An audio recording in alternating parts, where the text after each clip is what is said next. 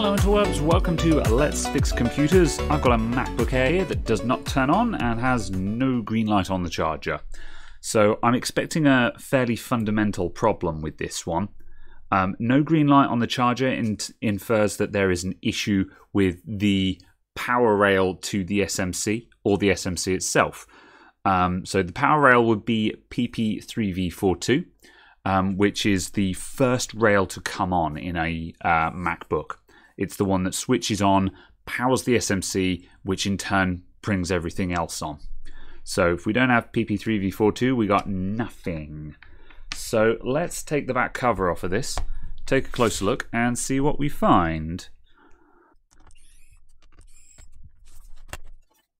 Okay, we've got some signs of liquid damage in here. We've got some stains on the cooling fan.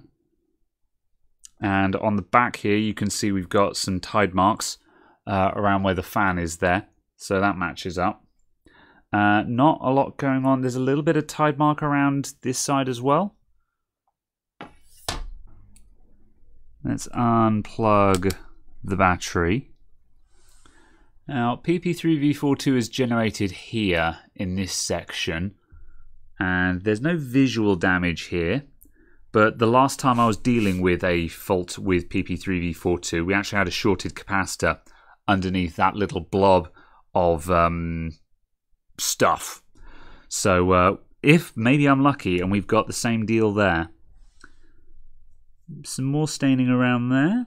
Nothing super visually wrong.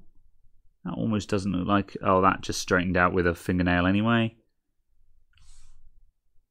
Uh, okay. Uh, let's turn on the multimeter and we'll check some measurements and see what we've got.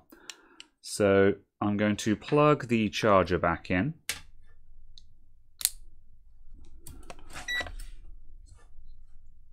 Huh. Is it starting?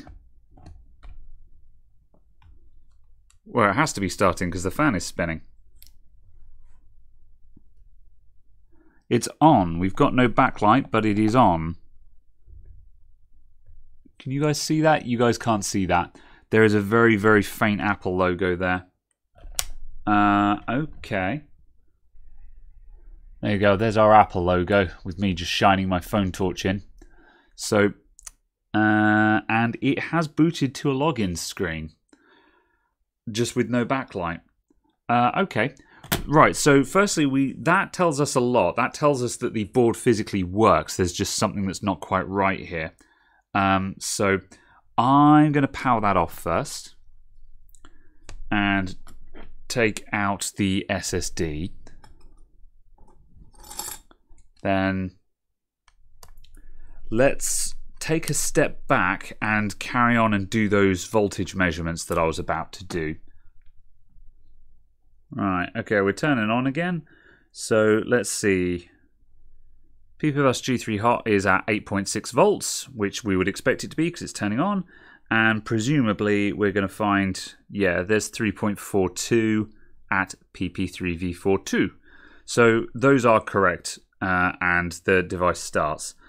Um, fine. Okay, so why don't we have a green light then? So that could be caused by. Uh, let's unplug it again. Oh, was did we have a backlight just then? Plug that in again.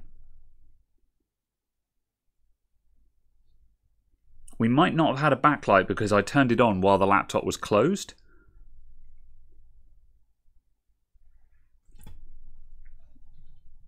Yeah, we got a backlight as well.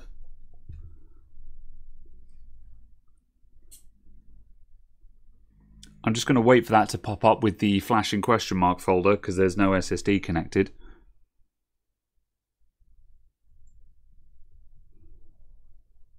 Right, so my next predictions here are we've got something that's blocking the green light on the charger, which is technically inconsequential at the moment because the laptop runs. Um, and most likely, um, my wager is there's a problem with the battery that might be stopping it from working when the battery is connected. Is that flickering? What's that? Yeah, that's the backlight flickering. Oh, that's not good. Okay. The fact that it kind of fades out. All right, I I have ideas. I have ideas. um. Uh, right, where was I? So, um, could be a problem with the battery, uh, which is causing it not to power on when the battery is connected. Could be a problem with the keyboard, causing the power button not to work. So, in order to make it power on, we need to disconnect the battery, then plug in the charger so it auto starts. Um, and then also that backlight issue. Um, my guess is possibly a bad DC in board, which has the um, screen open and closed sensor on it, the Hall effect sensor, um, which is causing false input. And also, a bad DC in board would also give us um, a bad one wire circuit, thus giving us no green light on the charger. So let's disassemble a bit further, see what we find.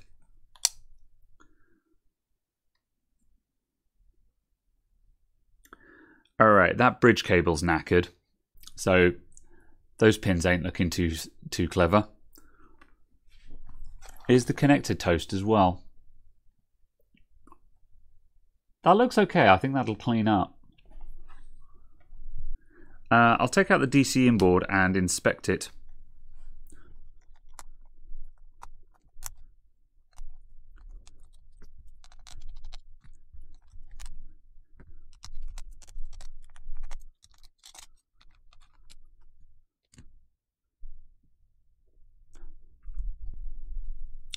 Right, DC inboard looks okay. That's our Hall effect sensor that I was talking about. Because this is right up at the side where the USB port is and stuff, this guy's a classic for getting corroded to hell. Um, but yeah, this this whole thing looks okay actually. Um, but again, with a bad ribbon connecting it over to the rest of the laptop, then half of those signals may not be going through properly. Given that we know that this laptop is liquid damaged, we should take the motherboard out and check the other side of it as we've discovered in recent videos that uh, if you don't bother, there could be a whole lot of corrosion on the other side of the board that you didn't spot because you couldn't be bothered to take the board out. So make sure you take the board out.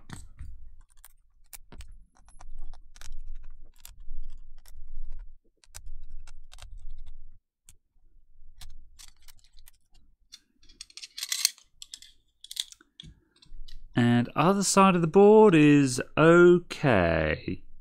A little bit of tide marks down there, including very close to the BIOS chip, but nothing that actually concerns me.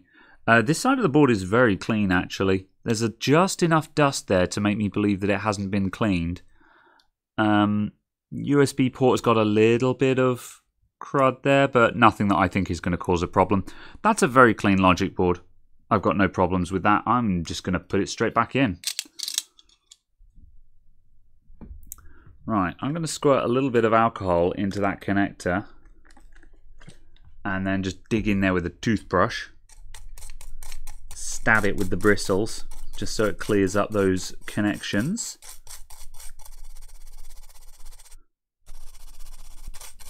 Go on, I can see all of them except one have come good. Um, am I going to jam a blade in there just to see if I can just rub that clean? Let's see if that's actually achieved anything first. I'll clean up this side now as well. I can be a little bit more vicious with this, so I'm going to go in with some glass cleaner instead. Give that a scrub.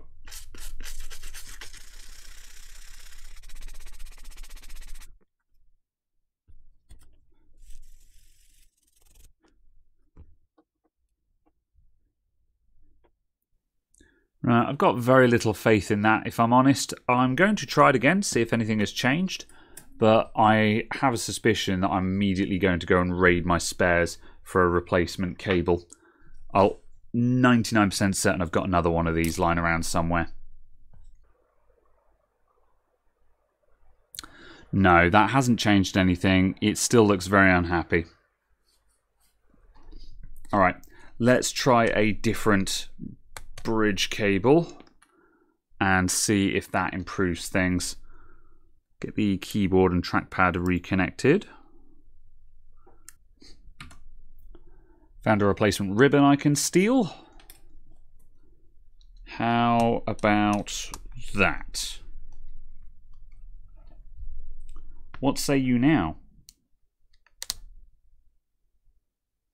Aha. I say green light on the charger. Now a charge light. That's one problem solved. Is that going to fix our unstable backlight? Because if that fixes our unstable backlight, we're basically done. And it probably only needed the replacement bridge cable. That backlight is still all flickery. Mm. And I think it is. Oh, you know what? I think we're good.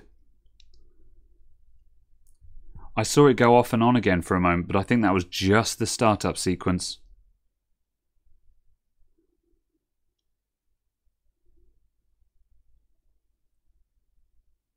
I'm reassembling. I'm putting the SSD in. We'll even put in the battery and see if that works. Right, so this thing seems to be working just fine now. Um, uh, I don't have the customer's password to do some full testing on it quite yet, but um, as a, at an initial look, the keyboard seems to be working just fine just through smashing keys and deleting them. Um, caps lock comes on and off correctly as well. Uh, the battery is recognized, um, but I think it's the original battery for the laptop, so that's pretty well worn out. Um, but I can unplug and plug it in, and that comes on and off charge. Again, green light on the charger is responding appropriately. So, um, as far as I can tell, that's all there is to it. So, it looks like with this one, it was just as simple as a bad bridge cable. Um, and uh, it's easy to forget about this guy because the laptop can start with this thing disconnected. So, you might think, well, how can that cause any major problems then? But obviously, um, a disconnected signal line, it might be able to start without, but a signal line that's sending bad signals, that is a bigger problem. And that is what was leading us to get these issues with it um, not detecting the green light properly and uh, not detecting the open closed status properly. And just for funsies, let's just have a quick look at the schematic just to see if we can identify what those exact pins were and see if they just so happen to relate to the problems we were having. So here's the board view in Flex Board Viewer for the 820-000165 logic board. And if we zoom down on J9500 here, it was these pins around here that were giving us problems. So let's see. We've got Speak Ramp Shutdown L, SMC Lid, that'll be our lid open close detection. We've got HDA resets, something about USB, uh, PP3V42, uh, and SYS1 wire, which is our green light on the charger. So look at that. All of the signals that we were having problems just so happened to be on those pins that were messed up. So there it is, everyone. Um, so yeah, this one was actually remarkably simple. Um, that's all I got for you today then. So thank you very much for watching and I'll see you guys next time. Bye for now.